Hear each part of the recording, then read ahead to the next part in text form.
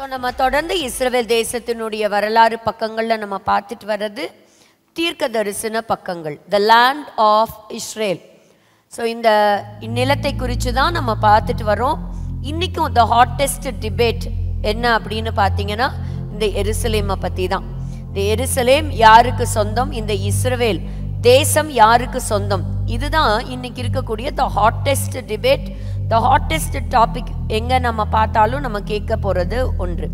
அப்போது இப்போ ஒரு டாக்குமெண்ட் ஒரு நிலம் வாங்குறீங்கன்னு சொன்னால் அந்த நிலத்துக்குரிய ஒரு பத்திரம் உண்டு. அந்த பத்திரத்தை உங்கள் பேரில் இருக்கிற பத்திரத்தை மட்டும் நீங்கள் கொடுத்தா பத்தாது. அதுக்குரிய தாய் பத்திரம்னு சொல்லுவாங்க. அதுதான் த பேரண்ட் டாக்குமெண்ட் அந்த டாக்குமெண்ட்டை நீங்கள் கட்டாயமாக சப்மிட் பண்ணணும். ஸோ அந்த டாக்குமெண்ட் தான் சொல்லும்.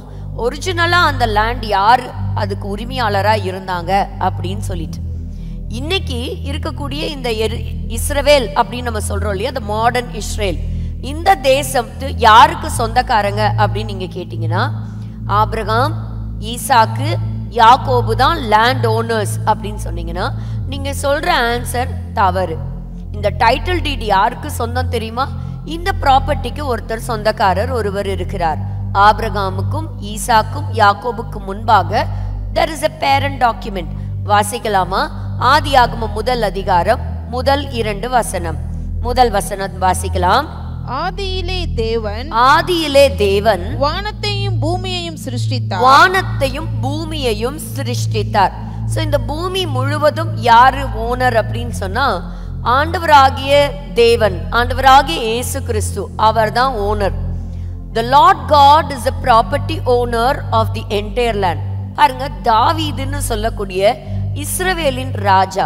அவர் ஒரு தீர்க்கதரிசி அவர் ஒரு போயட் பாருங்க ஏராளமான சங்கீதங்களை எழுதியிருக்கிறார்.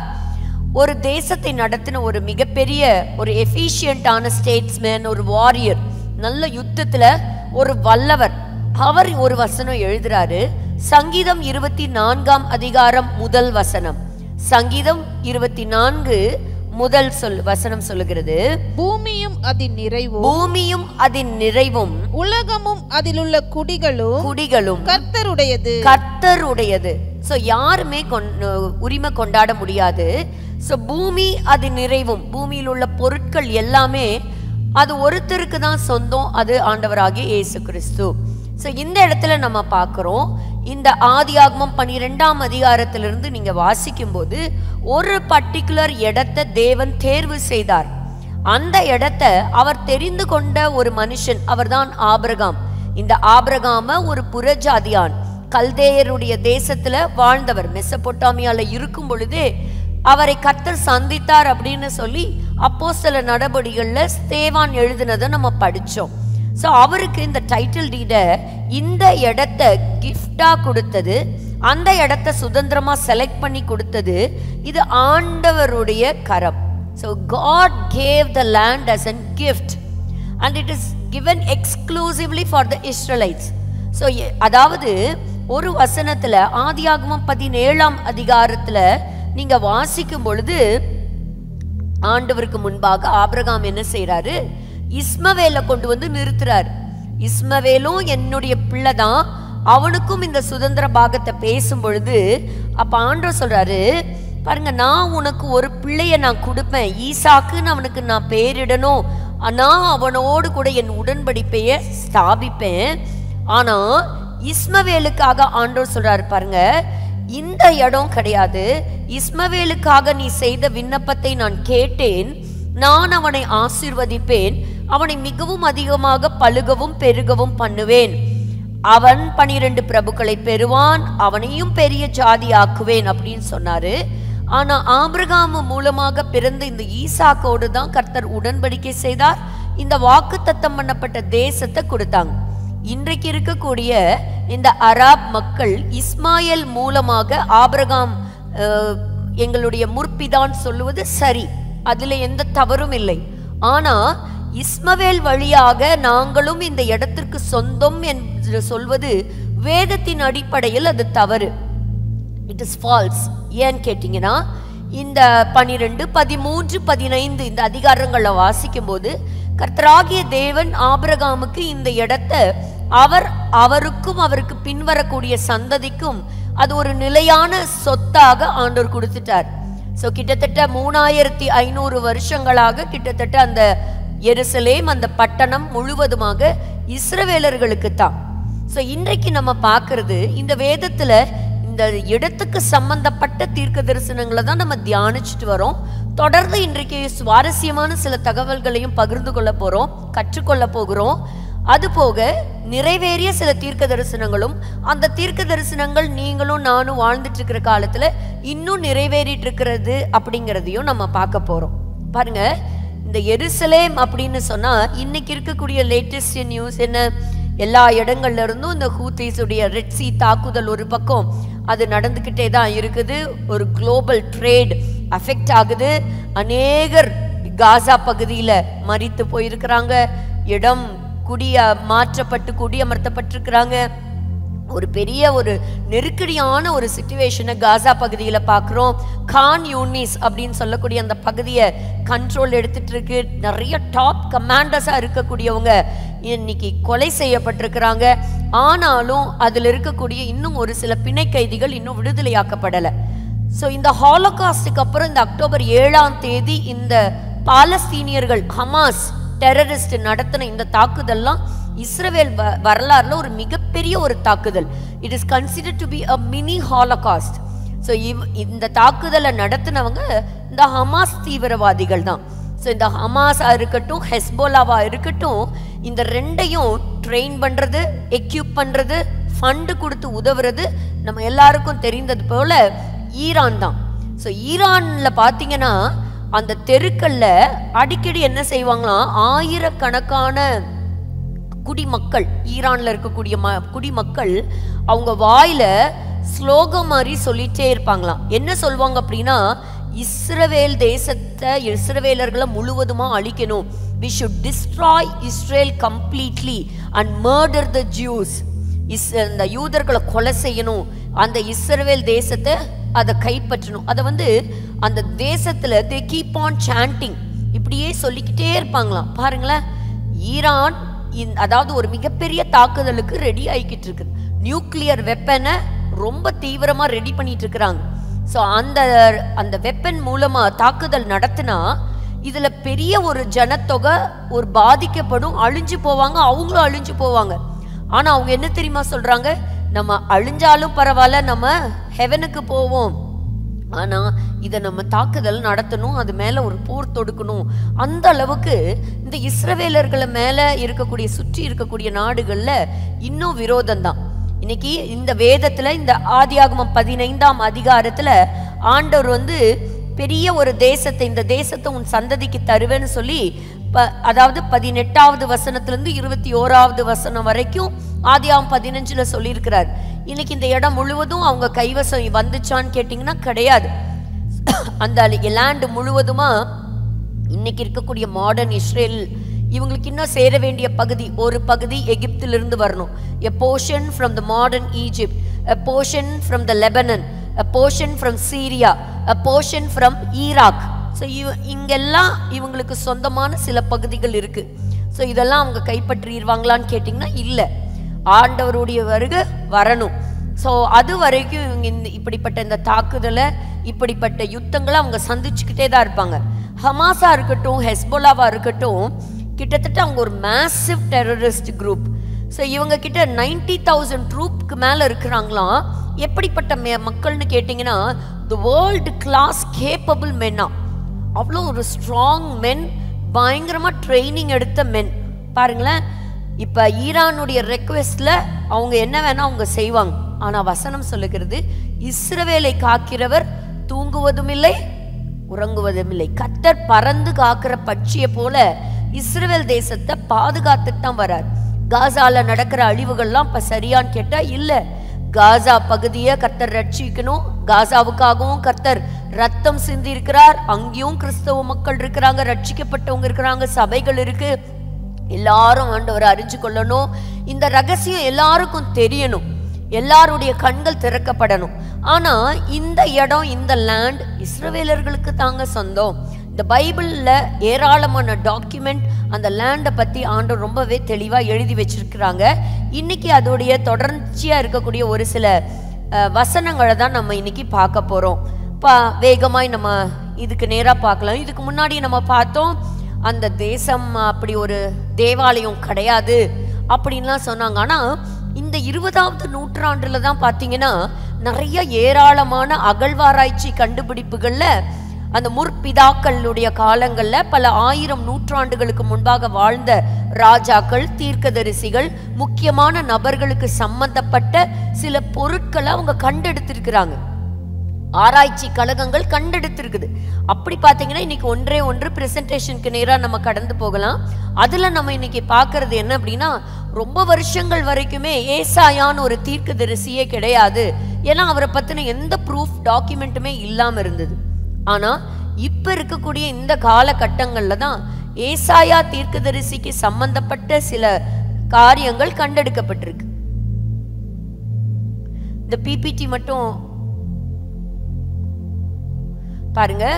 இது கிங் ஹெசேக்கியா அவருடைய அந்த சீல் ஸோ இதை வந்து அந்த இடத்துல கண்டெடுக்கப்பட்டது. அந்த அந்த தூரத்தில் தான்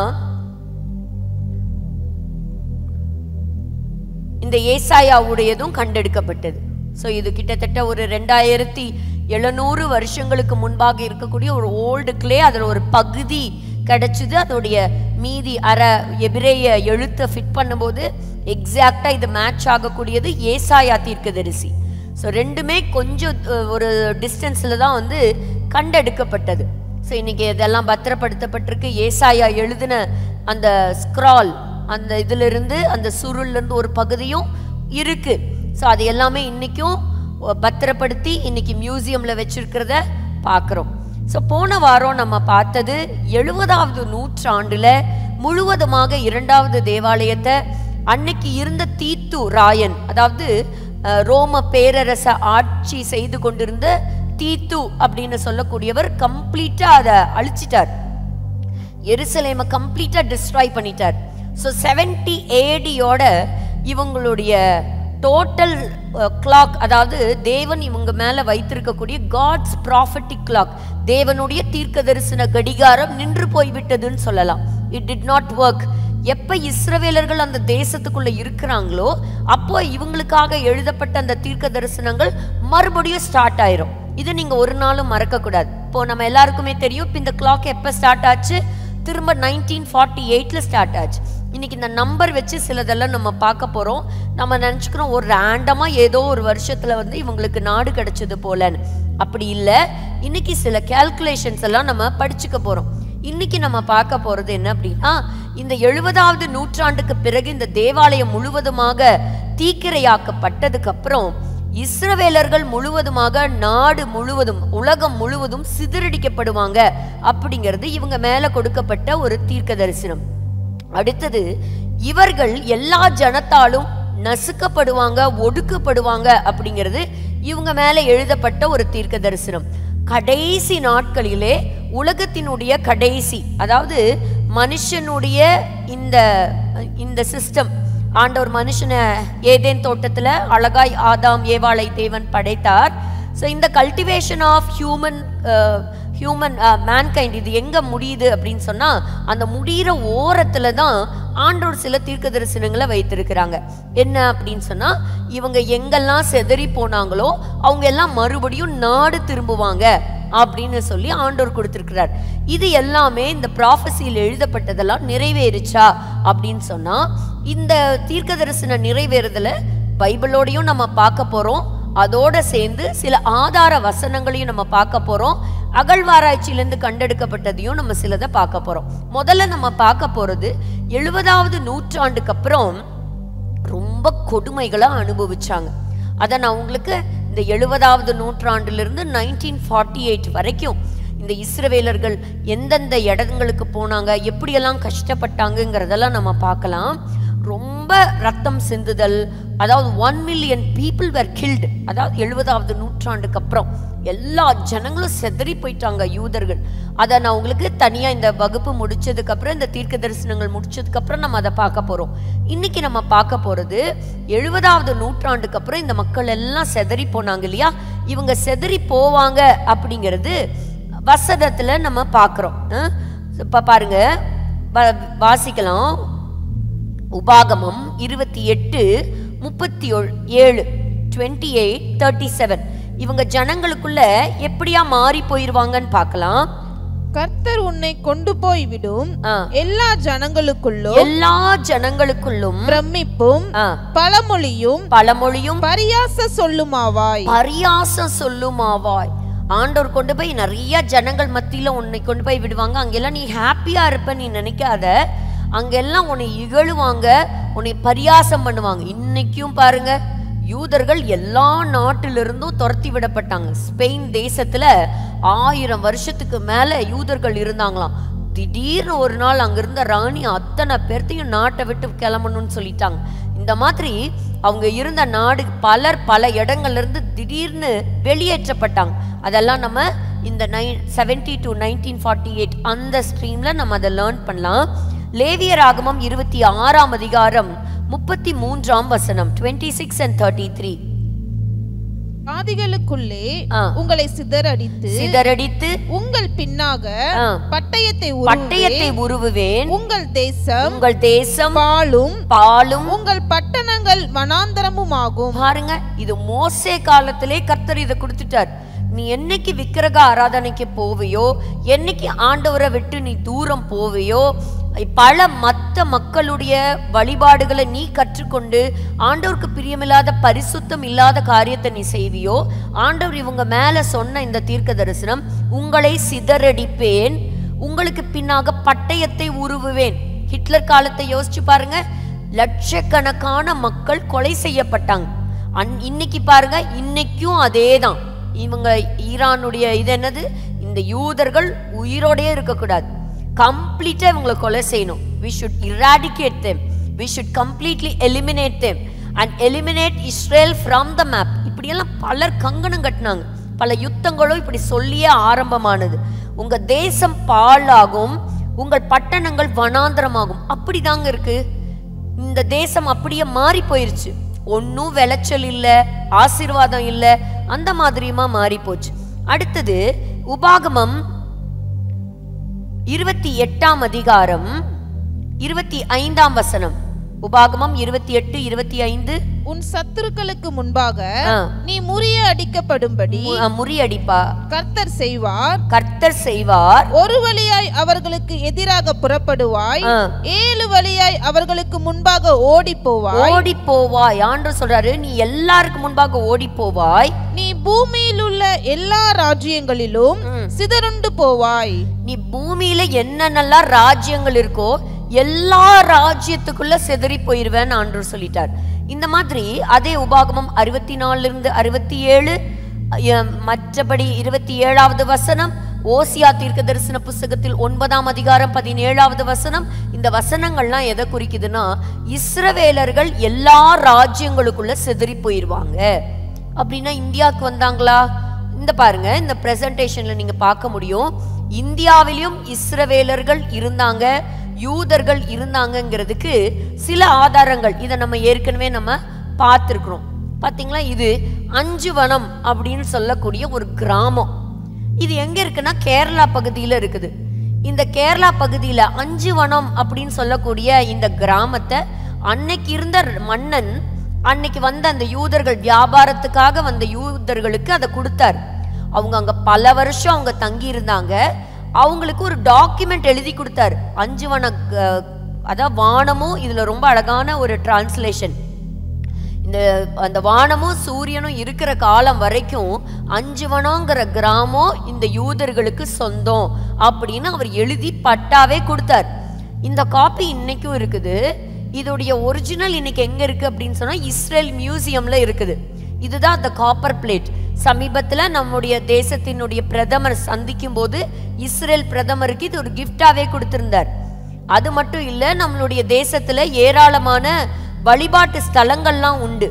பாருங்க நீங்கள் இங்கே பார்க்குறதெல்லாம் கேரளாவில் இருக்கக்கூடிய சினகாப் ஸோ யூதர்கள் வந்து அங்கே எங்கெங்கெல்லாம் தங்கி இருந்தாங்களோ அங்கெல்லாம் அவங்க இந்த வேதத்தின்படி சில ஜப ஆலயங்களை வைத்திருந்தாங்க. ஸோ கேரளாவில் ஜெப ஆலயங்கள் உண்டு.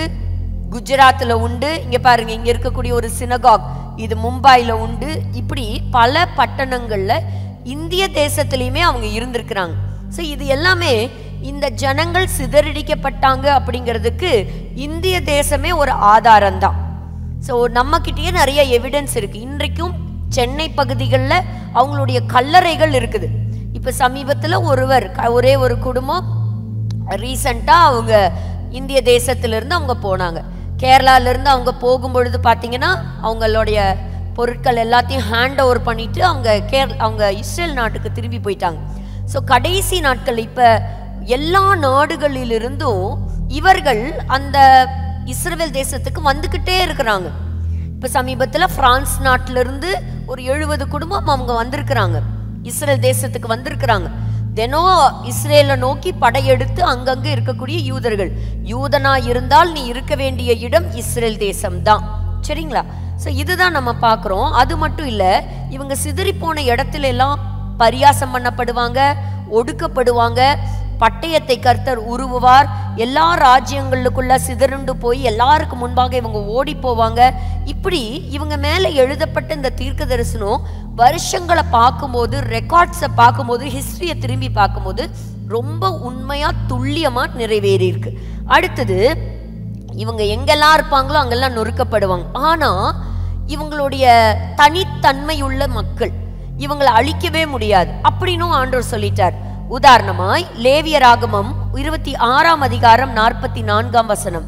லேவியராகமம் twenty six and forty four அவர்கள் தங்கள் சத்துருக்களின் தேசத்தில் இருந்தாலும் நான் அவர்களை நிர்மூலமாக்கத்தக்கதாகவும் நான் அவர்களோட பண்ணின என் உடன்படிக்கையை அபத்தமாக்கத்தக்கதாகவும் நான் அவர்களை கைவிடவும் நான் அவர்களை கைவிடவும் வெறுக்கவும் மாட்டேன். வெறுக்கவும் மாட்டேன். நான் அவர்கள் தேவனாகிய கர்த்தர். நான் அவர்கள் தேவனாகிய கர்த்தர். எவ்வளவு பாருங்க they will never lose their identity. They will retain their identity. எவ்வளவு ஆச்சரியம் இல்ல? அதே போலதான் எரேமியாவின் புஸ்தகம் நாற்பத்தி ஆறாம் அதிகாரம் இருபத்தி எட்டாவது வசனம். எரேமியா நாற்பத்தி ஆறு இருபத்தி எட்டு. என் தாசனாகிய யாக்கோபே. நீ பயப்படாதே என்று கர்த்தர் சொல்லுகிறார். நான் உன்னுடனே இருக்கிறேன். உன்னை துரத்திவிட்ட எல்லா ஜாதிகளையும். நான் நிர்மூலமாக்குவேன். உன்னையோ. நான் நிர்மூலமாக்காமல். உன்னை மட்டாய் தண்டிப்பேன். ஆனாலும் உன்னை நான் குற்றமில்லாமல் நீங்களாக விடுவதில்லை என்கிறார். பாருங்க நான் உன்னை துரத்தி விட்டு எல்லா ஜாதிகளையும் நிர்மூலமாக்குவேன். ஆனால் நான் உன்னை ஒருபோதும் நிர்மூலமாக்க மாட்டேன். பாருங்க பல மக்கள் பல இன மக்கள் இந்த பூமியில வாழ்ந்திருக்கிறாங்க. ஆனா அடையாளமே தெரியாம மறைஞ்சிட்டாங்க. காலங்கள் போக்குல. ஆனா இந்த மக்கள் கொஞ்சம் மக்கள் தான் உலகம் முழுக்க செதறி போனாங்க. ஆனா கர்த்தர் இவங்களை பத்திரமாய் பாதுகாத்துட்டே வந்தார். ஏன் தெரியுமா? எண்ணாகம புஸ்தகம் இருபத்தி மூணாம் அதிகாரம் ஒன்பதாவது வசனம். எண்ணாகமம் இருபத்தி மூன்று ஒன்பது. கண்மலை உச்சியிலிருந்து நான் அவனை கண்டு ஆ. குன்றுகளிலிருந்து அவனை பார்க்கிறேன். அந்த ஜனங்கள் ஜாதிகளோட அந்த ஜனங்கள் ஜாதிகளோடே கலவாமல் தனியே வாசமா இருப்பார்கள் அவங்க மத்தவங்களோடு மிக்ஸ் ஆக மாட்டாங்க. இவங்க ஒரு வித்தியாசமான மக்கள். Because they are God's elected people அதாவது இஸ்ரேல் அப்படின்னாலே God's elect God chosen people சரிங்களா? இந்த மக்களை நம்ம ஆசிர்வதிக்கணும். இவங்களை ஆசிர்வதிக்கிற மக்கள் இவங்களை ஆசிர்வதிக்கிற சபை இவங்களை ஆசிர்வதிக்கிற குடும்பம் ஆசிர்வதிக்கப்படும். இந்த சீக்கிரட்டை நீங்கள் மறந்துடவே கூடாது. ஏன்னா உன்னை ஆசிர்வதிக்கிறவர்களை நான் ஆசீர்வதிப்பேன் ஆண்டு சொல்லியிருக்கிறார். அவங்க சமாதானத்துக்காக நம்ம ஜெபிக்கணும். ஸோ இந்த வேதத்தை கையில் வச்சிருக்கிற நாம ஒரு நாளும் இந்த ஜனங்களை நம்ம சபிக்கவே கூடாது. ஸோ இப்படி இருந்தாங்க அவங்க மேசியாவை ஏற்றுக்கொள்ளலை. ஆனால் கடைசி காலங்களில் ஆண்டவர் என்ன செய்வாராம் அவங்கள நான் கூட்டி சேர்ப்பேன் அப்படின்னு சொல்கிறார் அதுதான் அடுத்த தீர்க்க தரிசனம் ஸோ அந்த தீர்க்க தரிசனம் என்ன? எல் எப்பேற்பட்ட இந்த மக்களாக இருந்தாலும் வாசிக்கலாம். எசேக்கியேல் மு- இரு முப்பத்தி எட்டு எட்டு. எசேக்கியேல் முப்பத்தி எட்டு எட்டு. அநேக நாட்களுக்கு பிற்பாடு. நீ விசாரிக்கப்படுவாய் நீ விசாரிக்கப்படுவாய் பட்டயத்துக்கு நீங்களாகி பட்டயத்துக்கு நீ நீங்களாகுவாய் பற்பல ஜனங்களிலிருந்து. சேர்த்து கொள்ளப்பட்டு. வந்தவர்களின் தேசத்தில். கடைசி வருஷங்களிலே வருவாய். நெடுநாள் பாலாய் கிடந்து. பிற்பாடு ஜாதிகளிலிருந்து கொண்டு வரப்பட்டவர்கள். எல்லாரும் சுகத்தோட குடியிருக்கும் குடியிருக்கும் இஸ்ரவேலின் மலைகளுக்கு விரோதமாய் வருவார்கள் விரோதமாய் வருவாய் அவர்கள் எல்லாரும் அஞ்சாமல் குடியிருக்கும் அநேக நாட்களுக்கு பின்பு நீ விசாரிக்கப்படுவாய் பட்டயத்துக்கு விளக்கப்பட்டு நீ காக்கப்படுவை மறுபடியும் நீ நாடு திரும்புவன்கிறது ஆண்டவர் இவங்களுக்கு கொடுத்த மிகப்பெரிய ஒரு தீர்க்க தரிசனம் அதுல பாருங்க இந்த மலை பட்டணத்துக்கு நேராக நீ வருவாய் அப்படிங்கிறது இந்த வசனத்துல நம்ம பார்க்கிறோம் என்ன அப்படின்னு கேட்டிங்கன்னா இந்த லேட்டர் டேஸ் அப்படின்னு பார்த்தீங்கன்னா அதாவது மனுஷனுடைய இந்த இனம் டோட்டலாக ஒரு முடிவுக்கு ஒரு க்ளோசிங் ஸ்டேஜுக்கு இந்த உலகம் கண்டிப்பாக வரும். எப்படி கர்த்தர் ஆரம்பித்தவர் அவர்? அவரே மனுஷனுடைய முடிவு காலத்தையும் கர்த்தர் குறித்து வச்சிருக்கிறாரு. அந்த க்ளோசிங் ஸ்டேஜில் இந்த இந்த மலைக்கா மலைப்பட்டணம் அப்படின்னு சொல்றது இது எருசலேம் நகரத்தை குறிக்குது. அது மட்டும் இல்லை இந்த எருசலேம் இந்த கடல்ல இருந்து சி லெவல்ல இருந்து கிட்டத்தட்ட two thousand four ninety four feet உயரத்தில் இருக்கு. ஸோ இந்த இடத்துக்கு கடைசி நாட்கள்ல நான் கொண்டு வருவேன்னு சொல்லி கர்த்தர் சொல்றாரு. அடுத்தது உபாகமம் முப்பது மூன்று. உபாகமம் முப்பது மூன்று. உன் தேவனாகிய கர்த்தர். உன் சிறையிருப்பை திருப்பி உன் சிறையிருப்பை திருப்புவார். உனக்கு இறங்கி உனக்கு இறங்குவார். உன் தேவனாகிய கர்த்தர் உன்னை சிதறடித்த எல்லா ஜனங்களிடத்திலும் இருக்கிற உன்னை இருக்கிற இருக்கிற உன்னை திரும்ப சேர்த்துக் திரும்ப சேர்த்துக் கொள்வார் இதெல்லாம் நீங்க இந்த உலகத்துல வாழ்ற எந்த கண்ட்ரியோடையும் மேட்ச் பண்ண முடியாதுங்க. இந்த வசனத்தை கொண்டு போய் நீங்க சைனீஸோட மேட்ச் பண்ண முடியுமா? இல்ல சூடான்ல இருக்கக்கூடிய மக்களோட ஆப்பிரிக்கன்ஸோட இல்லைன்னா இந்தியன்ஸோட மலேசியன்ஸோட வேற எந்த கண்ட்ரியோட நீங்க மேட்ச் பண்ண முடியுமா? முடியவே முடியாது. இந்த வசனத்துக்கு இந்த தீர்க்க தரிசனத்துக்கு சொந்தக்காரங்க இஸ்ரவேலர்கள் தான். அவங்கள யூதர்களை மட்டும்தான் இந்த வசனத்தோட நீங்க மேட்ச் பண்ண முடியும். இவங்க சொன்ன மாதிரி எல்லா தேசங்கள்ல இருந்தும் வந்தாங்க. They came from Europe they came from Australia they came from America they came back from India எல்லாருமே நாடு திரும்பினாங்க. ஸோ நாடு திரும்பினாங்க. ஆண்டு சொல்றாரு நான் எப்படி உன்னை சிதறடிச்சனோ அதே போல உன்னை மறுபடியும் கூட்டிக்குவேன். எசேக்கேல் இந்த ஒரு வசனத்தை வாசிப்போம். எசேக்கேல் முப்பத்தி ஏழாம் அதிகாரம் ஆண்டவர் சொல்றாரு ஒரு பள்ளத்தாக்குல இருக்க இருக்கக்கூடிய எலும்புகள் எப்படி ஒன்று சேர்ந்து ஒரு சேனையா எழும்புச்சோ அது போல நான் என்ன செய்வேன்? உன்னைய கடைசி நாட்கள்ல நான் உன்னைய உன்னுடைய தேசத்துக்கு நான் உன்னை கொண்டு வருவேன்னு சொல்றாரு. அந்த ஒரு வசனத்தை மட்டும் வாசிப்போம். எசேக்கேல் முப்பத்தி ஏழு பனிரெண்டு. எசேக்கேல் ஆ. ஆகையால் நீ தீர்க்க தரிசனம் உரைத்து அவர்களோட சொல்ல வேண்டியது என்னவென்றால் கர்த்தராகிய ஆண்டவர் உரைக்கிறார் இதோ என் ஜனங்களே நான் உங்கள் பிரேத குழிகளை பிரேத குழிகளை திறப்பேன். உங்களை உங்கள் பிரேத குழிகளிலிருந்து வெளிப்படவும் வெளியே கொண்டு வருவேன். உங்களை இஸ்ரவேல் தேசத்துக்கு வரவும் பண்ணுவேன். வரவும் பண்ணுவேன். பாருங்க எவ்வளவு ஒரு ஆச்சரியமான ஒரு தீர்க்க தரிசனம் இல்ல. உங்களை இஸ்ரவேல் தேசத்துக்கு வரவும் பண்ணுவேன். I will bring back to the country the land of Israel சரி இது எப்படி வந்தாங்கங்கிற ஒரு சின்ன கணக்கு மட்டும் சொல்லி நான் உங்களுக்கு இந்த இடத்துல நான் வந்து முடிக்கிறேன். எப்படின்னு கேட்டிங்கன்னா எழுபதாவது நூற்றாண்டில் சிதறி போயிட்டாங்க. ஆண்டவர் வந்து இவங்களை எப்போ கூட்டி சேர்த்தார் அப்படின்னு சொன்னால் கடைசி காலத்தில் தான் கர்த்தர் கூட்டி சேர்க்கிறார். எப்போ? நைன்டீன் ஃபார்ட்டி எயிட்டில் தான் இவங்க டோட்டலாக கூட்டி சேர்றாங்க. அப்பதான் ஒரு நாடு உருவாகுது. அது என்ன அப்படின்னு பார்த்தீங்கன்னா ஏசாயா அறுபத்தி ஆறு எட்டாவது வசனம். வாசிக்கலாம். ஏசாயா அறுபத்தி ஆறு எட்டு இப்படிப்பட்டவர்களை கேள்விப்பட்டது யார்? இப்படிப்பட்டவைகளை கண்டது யார்? ஒரு தேசத்துக்கு. ஒரே நாளில் பிள்ளை பேரு வருமோ? வருமோ? ஒரு ஜாதி ஒரு ஜாதி ஒருமிக்க பிறக்குமோ? பிறக்குமா? சீயோனோவெனில். ஒருமிக்க வேதனைப்பட்டும். தன் குமாரரை பெற்றும் இருக்கிறது இதுதாங்க இந்த இயேசு கிறிஸ்துவினுடைய குரூசிஃபிகேஷனுக்கு அப்புறம் உயிர்த்தெழுதலுக்கு அப்புறம் அவருடைய பிறப்பு சிலுவை மரணம் அவருடைய உயிர்த்தெழுதல்.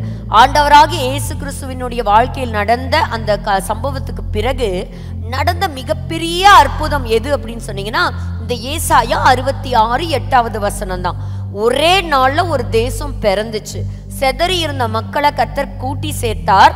அந்த ஒரு சின்ன கால்குலேஷனுக்கு நம்ம போகலாம் இதோட கூட நான் நிறைவு செய்கிறேன். இந்த ப்ரெசன்டேஷனுக்கு நேராக போகலாம். என்ன நடந்ததுன்னு கேட்டிங்கன்னா இந்த இஸ்ரவேலர்களுடைய வாழ்க்கையில் ஒரு கால்குலேஷன் இருக்குது. என்ன கால்குலேஷன் அப்படின்னா இப்போ நம்ம one two three four five six seven இன்னைக்கு வரைக்கும் இந்த ஒரு வருஷத்துக்கு வந்து இத்தனை நாட்கள் இருக்குது இப்போ த்ரீ சிக்ஸ்டி ஃபைவ் டேஸ் இருக்குது அப்படிங்கிறது நமக்கு தெரியும் இல்லையா? சூரியன் இது அதை சுற்றி வருகிறது. தன்னைத்தானே சுற்றி வரும்போது அது ஒரு நாள். அது சூரியனை சுற்றி வருகிறதுக்கு இத்தனை நாட்கள் ஆகுது. அப்போ அது ஒரு வருஷம்னு நம்ம சொல்கிறோம் ஆனால் எதை வச்சு ஒரு வாரம்னு சொல்கிறோம் வாட் மேக்ஸ் அ வீக் எதை பேஸ் பண்ணி கால்குலேட் பண்ணுறாங்க ம்? ஆ, பாருங்க. வசனம் தான் வேதம் தான் ஏழு நாளுன்னு உண்டாக்குனது அது கர்த்தர் தான் இன்னைக்கு வரைக்கும் பாருங்க ஆறு நாள் மக்கள் வேலை செய்வாங்க ஒரு நாள் ஹாலிடே கொடுப்பாங்க. அந்த ஒன் டே ஹாலிடேங்கிற சிஸ்டம் யார் இன்க்ளூட் பண்ணி கொண்டு வந்தது? பைபிள் தாங்க. ஆண்டவர் தான் ஒன் டே ரெஸ்ட் கொடுத்தார்.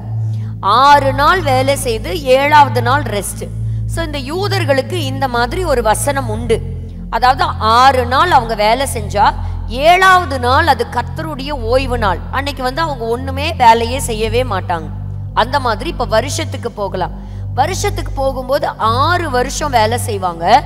ஆனால் ஏழாவது வருஷம் அவங்க வந்து அந்த லேண்டை டோட்டலாக அவங்க ஃப்ரீ விட்டுறணும். So it is a resting time பாருங்க அந்த இந்த இது- இதை வாசிக்கும் போது லேவிய ராகமம் இருபத்தி ஐந்தாம் அதிகாரம் ஒன்றிலிருந்து ஐந்து வசனங்கள் இதை குறிக்குது. ஸோ ஆண்டவர் சொல்கிறாரு அன்னைக்கு நீங்கள் என்ன செய்யக்கூடாது? நீங்க எதுவுமே எந்த வேலையுமே நீங்க செய்யவே கூடாது. ஒன்றிலிருந்து ஐந்தாவது வசனத்துல நீங்க வாசிக்கும் போது மூணாவது வசனம் வாசிங்க. ஆறு வருஷம் உன் வயலை விதைத்து விதைக்கலாம். உன் திராட்சை தோட்டத்தை கிளை கழித்து. அதன் பலனை பலனை நீ சேர்த்துக்கோ. ஏழாம் வருஷத்திலோ ஏழாம் வருஷம் கர்த்தருக்கென்று ஓய்ந்திருக்கும் ஓய்வு தேசத்திற்கு இருக்க வேண்டும். இருக்க வேண்டும். ஸோ அந்த செவன்த் இயர் அதில் நீ என்ன செய்யக்கூடாது? உனக்கு தோட்டம் துறவு இருந்தாலும் உன் தோட்டத்தில் போய் நீ எந்த விதையும் போடக்கூடாது. அந்த தே அந்த வருஷம் வந்து கம்ப்ளீட்டாக லேண்டுக்கு ரெஸ்ட் கொடுக்கணும். எந்த வருஷம் கொடுக்கணும்? ஏழாவது வருஷம். இப்போ செவன் இன்ட்டு செவன் அப்போ என்னது? ஃபார்ட்டி நைன் இயர்ஸ் இந்த மாதிரி ஏழு ஏழு. ஸோ இதுக்கு நம்ம எபிரேய மொழியில் நம்ம சொல்கிறதுக்கு பேர் என்ன அப்படின்னா ஷெமிதா. ஷேமிதா. எஸ்ஹெச்இ எம்ஐடிஏஹெச் ஸோ இதை தான் நம்ம சொல்கிறோம் ஸோ அந்த ஷேமிதா த செவன்த் இயர் அதுதான் இயர் ஆஃப் வர்ஷிப் ஆராதனையான ஒரு வருஷம். இப்போ என்ன ஆகுது அப்படின்னு பார்த்தீங்கன்னா இப்போ seven into seven forty nine years அந்த ஐம்பதாவது வருஷம் வருது பார்த்தீங்களா? நாற்பத்தஞ்சு வ- நாற்பத்தொம்போது வருஷம் முடியுது இல்லையா? அந்த அதுக்கு தொடர்ச்சியாக வரக்கூடியது வந்து ஜூப்ளி இயர்னு அர்த்தம். ஸோ அதுக்கு பேர் யூபிலி வருஷம் அப்படின்னு அர்த்தம். வாசிக்கலாம். லேவியராகவும் எட்டாம் இருபத்தி ஐந்தாம் அதிகாரம் எட்டாவது வசனத்திலிருந்து வாசிங்க. பத்தாவது வசனம் வாசிக்கலாம். ஐம்பதாம் வருஷத்தை பரிசுத்தமாக்கி இந்த 50th இயர் இருக்கு பாத்தீங்களா? அது வந்து உங்களுக்கு பரிசுத்தமான வருஷம். தேசமெங்கும் ஆ. அதன் குடிகளுக்கெல்லாம் விடுதலை கூற கடவீர்கள். தேசத்துல இருக்கிற எல்லா சிட்டிசனுக்கும் அன்னைக்கு என்னது? விடுதலை. நீ அடிமையா வச்சிருந்தீங்கன்னா அந்த அடிமைக்கும் விடுதலை கொடுத்து அனுப்பிடணும் அவன் வீட்டுக்கு. அது உங்களுக்கு யூபிலி வருஷம். யூபிலி வருஷம். அப்போ இஸ்ரவேலர்களுக்கு ஐம்பதாவது வருஷம்னா அதுக்கு என்ன பேருங்க? யூபிலின்னு அர்த்தம். அதிலே. உங்களில் ஒவ்வொருவனும் தன் தன் காணியாட்சிக்கும் தன் தன் குடும்பத்துக்கும் திரும்பி போக கடவன் everybody will return to their family will get back their property அவங்களோட சொத்து அவங்களுக்கு திரும்ப கிடைச்சிரும். அவங்களுக்கு அந்த லிபர்ட்டி திரும்ப ரீஸ்டோர் ஆயிரும். இது ஐம்பதாவது வருஷத்துல இவங்களுக்கு கிடைக்கக்கூடிய ஒரு ஆசீர்வாதம்னு சொல்லி கர்த்தர் கு- கொடுக்கிறார். இப்போ பார்த்தீங்கன்னா இவங்களுக்கு எப்படி இந்த நாடு கிடைச்சதுன்னு நான் சொல்றேன். One shemitah is equal to seven years ஞாபகம் வச்சுக்கோங்க. ஷெமிதா அப்படின்னு சொன்னா என்ன அர்த்தம்? ஏழு வருஷம். ஸோ இப்போ every seven every seven shemitah அந்த மாதிரி ஏழு ஷெமிதா சேர்ந்தா அதாவது நாற்பத்தி ஒன்பது வருஷங்கள் சேர்ந்தா அதுக்கப்புறம் வரக்கூடிய ஐம்பதாவது வருஷம். உங்களுக்கு புரியுதா நான் சொல்றது? ஏழு ஏழு ஏழு இப்படி ஏழு தடவை ஏழு சேரணும். ஏழு ஷெமித்தா சேரணும். அப்போ அந்த ஐம்பதாவது வருஷம் வர்றது யூபிலி வருஷம். ஸோ ஃபிஃப்டியத் இயர் அப்போ அவங்களுடைய இடம் அவங்களுக்கு திருப்பி கிடைக்கும். அவங்களுடைய சுதந்திரம் அவங்களுக்கு திரும்ப கிடைச்சிரும். இப்போ பாருங்களேன் இந்த ஃபார்முலாவை ஆண்டவர் அவங்க லைஃப்ல எப்படி அப்ளை பண்றாருன்னு. இந்த யூப்ளி வருஷத்துல என்ன நடந்ததுன்னா எழுபதாவது நூற்றாண்டுல இந்த இஸ்ரவேலர்கள் எல்லாம் செதறி போயிட்டாங்க. அந்த நாட்டில் இருந்த யூதர்கள் எல்லாம் கொடுமை தாங்க முடியாம ரோமன்ஸ் வந்து என்ன பண்ணாங்கன்னா அந்த கொலோசியம் கட்டினா ரோம்ல அதுல எழுபதாயிரம் யூதர்களை அடிமைகளை அங்க கொண்டு போய் கட்டடம் கட்டுறதுக்கு கூட்டிட்டு போயிட்டான். ஒரு லட்சம் யூதர்கள் கொலை செய்யப்பட்டு செத்து போயிட்டாங்க. நிறைய பேர் தற்கொலை பண்ணிக்கிட்டாங்க. ஒரு சினகாக்ல பார்த்தீங்கன்னா பெண்கள் குழந்தைகள்லாம் எ- இந்த கூண்டோட எரிக்கப்பட்டுட்டாங்க. ஸோ அந்த மாதிரி ரொம்ப கொடுமைகளை அனுபவிச்சாங்க. அப்படியே போயிருச்சு. இப்போ ஆயிரத்தி தொள்ளாயிரத்தி பதினேழாவது வருஷத்துல என்ன நடக்குது அப்படின்னு கேட்டிங்கன்னா பேல்ஃபோர் டிக்ளரேஷன் இதை பத்தி நான் ஏற்கனவே உங்களுக்கு கொடுத்துருக்கிறேன். என்னன்னா அன்னைக்கு இருந்த ஒரு யூதன் அவர் அதான் ராட் சைல்ட் அவருக்கு ஒரு கடிதம் அவரை கொண்டு போய் கொடுக்குறாரு. அதில் என்னன்னா யூதர்களுக்கு தனி தேசம் கொடுக்கப்படணும். அவங்களுக்கு ஒரு லேண்டு கொடுக்கணும் and it should be identified as state of Israel அப்படின்னு அவர் சொல்றார். இது எப்போ நடக்குது? நைன்டீன் செவன்டீன் யூதர்களுடைய கேலண்டர் படி நைன்டீன் செவன்டி யூபிலி வருஷம். நீங்கள் போய் கூகுளில் சர்ச் பண்ணி பாருங்களேன் ரொம்ப ஆச்சரியமாக இருக்கும். ஸோ யூபிலி வருஷத்தில் என்ன கிடைக்கும் அவங்களுக்கு? ஒரு மனுஷன் இழந்த நிலம் அவனுக்கு திரும்ப கிடைக்கணும்.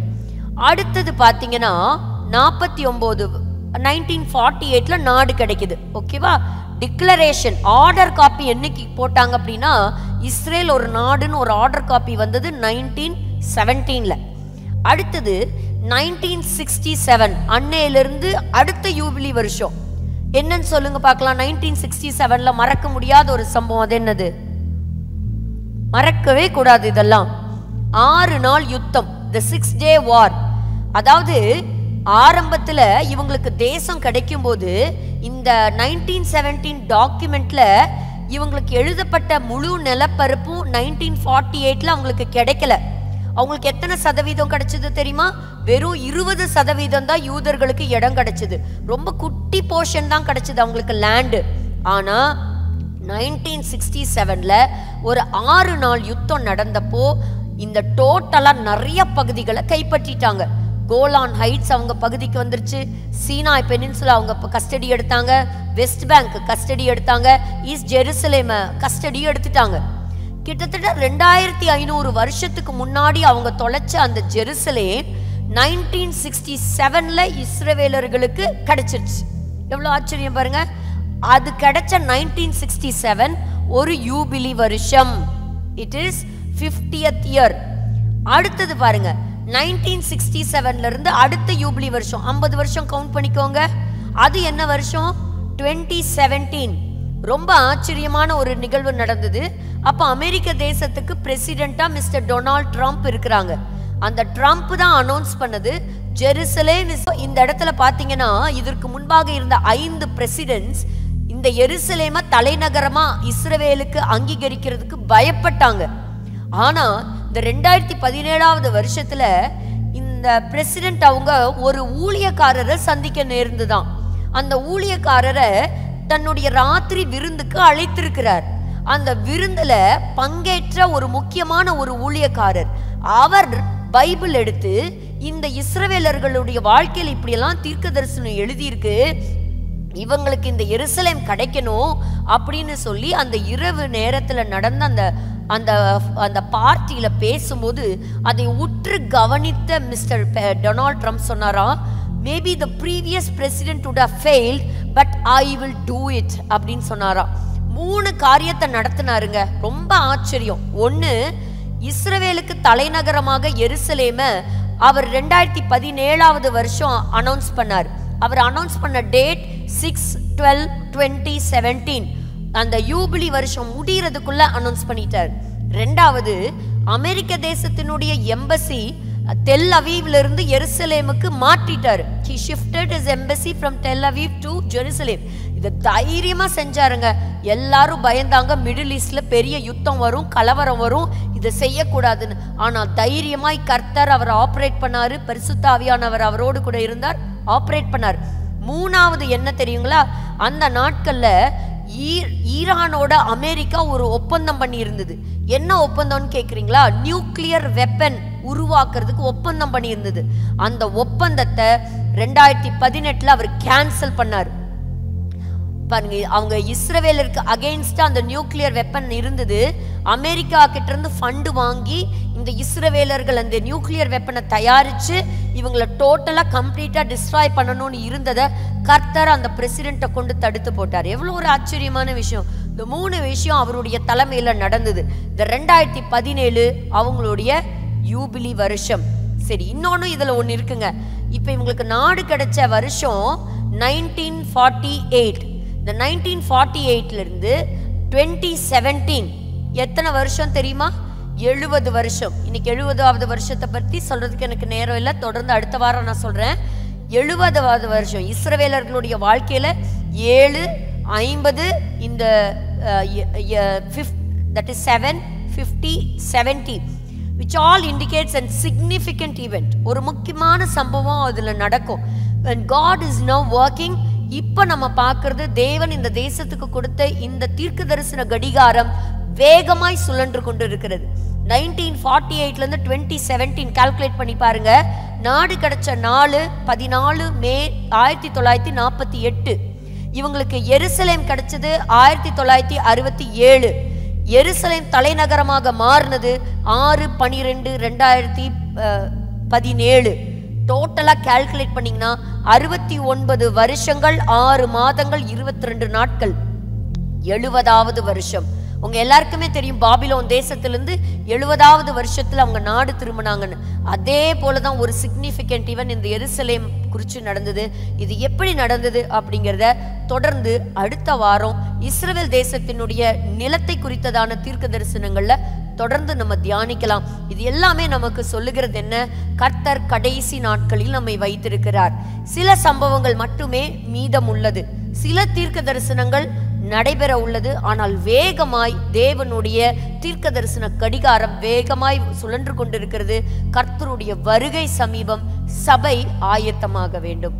தொடர்ந்து த லேண்ட் ஆஃப் இஸ்ரேல் அடுத்த வாரம் நம்ம தியானிக்கலாம்.